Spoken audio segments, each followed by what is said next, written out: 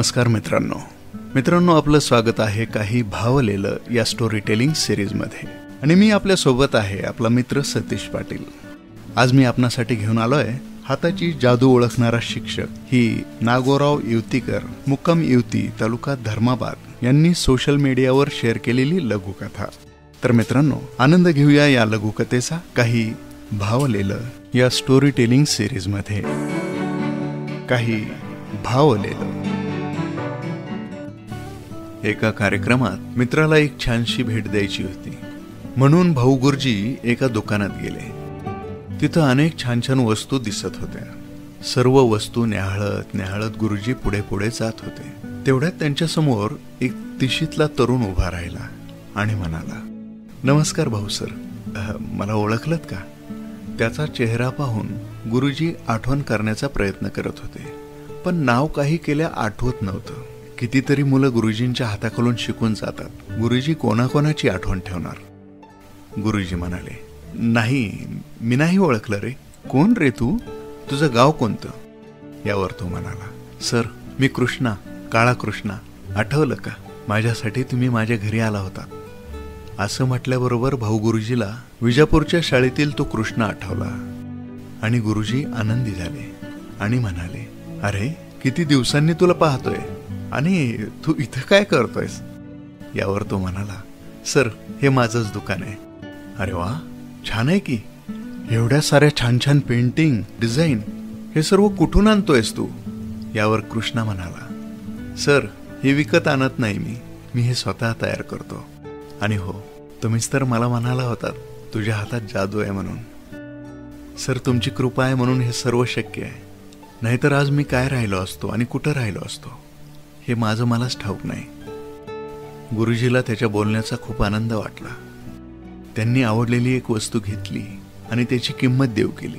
पण कृष्ण घेण्यास अजिबात तयार नव्हता. पण पैसे घेतले नाही तर वस्तू घेणार नाही असं गुरुजी म्हटल्यावर त्यानं ती रक्कम घेतली. ती वस्तू पोटाशी धरून गुरुजी कार्यक्रमाला जाण्यासाठी गाडीत बसले.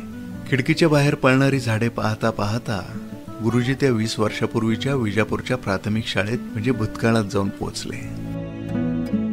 भाऊ गुरुजींची विजापूरच्या शाळेवर नुकतीच बदली झाली होती. इयत्ता पहिली ते पाचवी पर्यंतचे वर्ग होते. शाळेच्या पहिल्या दिवशीच गुरुजी शाळेत हजर. मुख्याध्यापकांनी त्यांच्या हातात तिसऱ्या वर्गाचा हजेरीपट देऊन त्यांना तिसरा वर्ग शिकवण्यासाठी दिला. त्या वर्गाच्या हजेरीपटावर जेमतेम वीस मुलं होती. गुरुजींनी वर्गाची हजेरी घेतली. एक एक मुलाची चाचपणी केली. त्या वर्गात कृष्ण नावाची दोन मुलं होती. त्यापैकी एक कृष्ण उपस्थित होता तर दुसरा अनुपस्थित होता. त्याचं नाव आल्याबरोबर मुलं ओरडू लागली. तो काळा कृष्ण येणार नाही तो येणार नाही काळा कृष्ण येणार नाही. वर्गात सर्व मुलं हजर फक्त एक त्याला सोडून. असे दहा बारा दिवस चाललं. त्याच्या बाबतीत मुख्याध्यापक आणि शिक्षकांशी चर्चा केली असता गुरुजींना असं कळालं की तो अभ्यास करत नाही. खोड्या करतो मारामाऱ्या करतो. घरीच मातीशी खेळत राहतो आणि शाळेला येतच नाही. गुरुजीच्या मनात त्याला भेटण्याची इच्छा झाली. एके दिवशी वर्गातील मुलं आणि भाऊ गुरुजी त्याला भेटण्यासाठी त्याच्या घरी गेले. घराच्या मागच्या बाजूला काळ्या मातीचा चिखल तयार होता आणि त्या चिखलावर कृष्ण विविध वस्तू तयार करण्यात गर्क होता. त्याच्या आजूबाजूला मातीच्या अनेक वस्तू त्यानं तयार करून ठेवलेल्या होत्या. गुरुजींनी त्या सर्व वस्तू हातात घेतल्या. खूप छान तयार केल्या होत्या. गुरुजीच्या सोबत आलेली मुलं कृष्णाला म्हणाली कृष्णा तुला भेटायला नवीन सर आलेत. गुरुजींनी त्याला जवळ बोलावलं. त्याचं नाव आणि प्राथमिक चौकशी केली आणि त्याला विचारलं तू शाळेला का येत नाहीस? तेव्हा तो म्हणाला मला नाही यायचं ते शाळेत. मला लिहिता येत नाही वाचता येत नाही. आणि ही सारी पोरं मला ढ म्हणून चिडावतात. म्हणून मला शाळेला यावंच वाटत नाही. यापुढं तुला कोणीही काही म्हणणार नाही.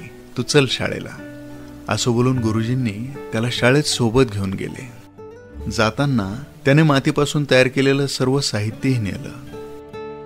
वर्गात गेल्या गेल्या त्याचं सर्व साहित्य मुलांना दाखवून त्याला शाब्बासकी दिली. आणि त्याला यापुढं कोणीही चिडवणार नाही याची सक्त सूचनाही दिली. असेच दहा बारा दिवस उलटले. एके दिवशी शाळेत चित्रकलेची स्पर्धा आयोजित करण्यात आली होती. त्या स्पर्धेत कृष्णानं काढलेलं जंगलात चरत असलेली जनावरं आणि आजूबाजूच्या निसर्गाच्या सुंदर चित्रानं शाळेतून पहिला क्रमांक मिळवला. गुरुजींनी त्याचं चित्र शाळेत दर्शनी भागावर लावलं. कृष्णाला त्याचा खूप अभिमान वाटू लागला. बाहेर जाता येता तो चित्र जागेवर आहे किंवा नाही हे पाहू लागला. तो एक उत्तम चित्रकार होता. त्याच्या हातात जादू होती. हे भाऊ गुरुजींनी ओळखलं आणि त्याला त्या क्षेत्रात हवी ती मदत करीत राहिले. जमेल तेव्हा बोर्डावर त्याच्या हातून गुरुजी विविध प्रकारची चित्र काढून घेऊ लागली. एव्हाना त्याला शाळेची गोडी लागली होती. सुटीच्या दिवशी त्याला करमत नसायचं. तो सदा कामात गर्क असायचा. गुरुजींनी चित्रकलेच्या माध्यमातून त्याला हळूहळू वाचनाकडे घेऊन गेले. आता त्याला हळूहळू वाचता आणि लिहिता देखील येऊ लागलं. तो पाचवी पास झाला आणि त्याला दुसऱ्या शाळेत जावं लागलं. कारण विजापूरच्या शाळेत सहावा वर्गच नव्हता. खूप जडांतकरणानं सर्वांनी त्याला निरोप दिला. त्याचे ही डोळे पानावले होते. जाता जाता गुरुजींनी त्याला एक सल्ला दिला. कृष्णा तुझ्या हातात जादू आहे. त्याचा योग्य वापर कर. जीवनात तू नक्की यशस्वी होशील. हेच लक्षात ठेवून कृष्णानं आज खूप प्रगती केली. कोणीही त्याच्या दुकानात आल्यावर एक तासभर तरी नुसतं चित्र पाहत राहायचा. नको असताना देखील त्याचं चित्र विकत घ्यायचा. आज तो आपल्या ठिकाणी सुखी आहे हे ऐकून आणि पाहून गुरुजींना देखील परमोच्च आनंद झाला. जगात असे अनेक कलाकार मंडळे आहेत त्यांच्या हातात जादू आहे. फक्त गरज आहे ती त्यांना त्यांच्या कलेची जाणीव करून द्यायची. जे विद्यार्थ्याच्या अंतरंगातील गुण ओळखून त्यांना तसं मार्गदर्शन करतात आणि त्यांच्या जीवनात आमूलाग्र बदल घडवितात ते शिक्षक आजीवन विद्यार्थ्यांच्या स्मरणात राहतात.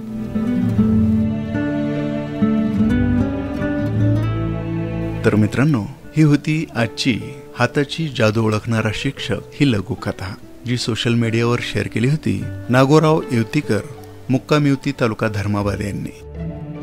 मित्रांनो आजचा एपिसोड आपणास आवडला असेल तर नक्कीच हा व्हिडिओ लाईक करा शेअर करा चॅनल सबस्क्राईब करा आणि आठवणीनं खालचा बेल आयकॉन ऍक्टिव्हेट करा. जेणेकरून येणाऱ्या प्रत्येक भागाची आपणास माहिती मिळत राहील.